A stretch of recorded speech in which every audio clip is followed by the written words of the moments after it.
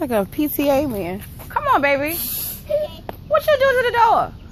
Oh. You did that? No. Somebody else did that? Oh. No. Sometimes when I do that. Close that door.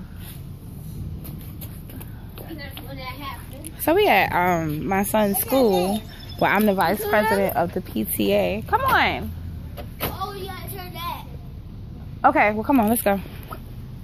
Stop throwing stuff. Say hi, Dash. Hi, my is Dad. Anyway, my name is Avery. Yo. yeah, yo. yes. You know Can we go to the car? Do you know? Yes, I do. So I am the vice president of the PTA. And this year, I am not playing. Like, I want it to be amazing.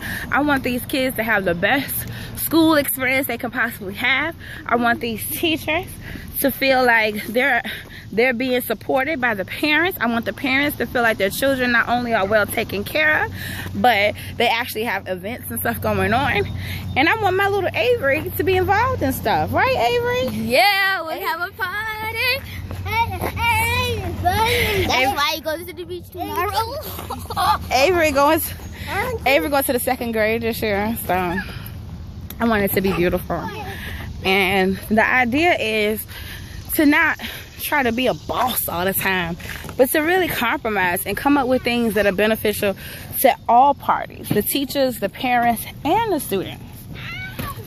The problem was last year when we were doing events and stuff, there was no communication and it was it to me in my opinion and people can check me on this if they want to there was no communication but there also was a lot of a lot of women who was on a power trip and they just wanted their name on a piece of paper with the words president and vice president on it instead of actually doing the work. So it was a lot of confusion, a lot of uh, comments that were made behind people's backs and stuff like that. It was no consistency. So it, I got frustrated. I'm not gonna lie. I was just like, I'm not doing this. This is it's not gonna work.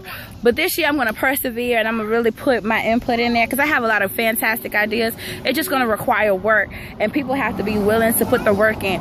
But let me tell you, the PTA or if it's PTO where you're from, it is not easy it's it's work. It's extra work that you're most likely not going to get paid for not going to get a pat on your back for not going to get any accolades but you still have to do it because overall your your intention is to not only help the community but help your student which is your child and the children of the other parents in the community and with everything that we have going on with businesses and events and community events and uh, advocacy and all that, I think it's important that you that you play a part in your child's school, and that's exactly what I'm trying to do with this. And this is my second year as vice president of the PTA.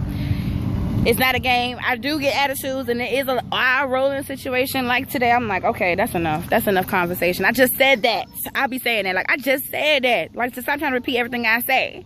But at the end of the day, the goal is to make a fantastic school year. And I think that we're headed to that. I'm really, really excited. But we'll see. We'll get into it. But I'm just excited. It's July now. August is around the corner. And next thing you know, school will be starting. So between your personal life, running your businesses, and taking care of your family, PTA is a lot of work. But it's fun and it's rewarding when I see that my children are excited and proud of me, that's all that matters. So I will update you all about it some more soon, but I just want y'all to know that's what I got my hands full of right now.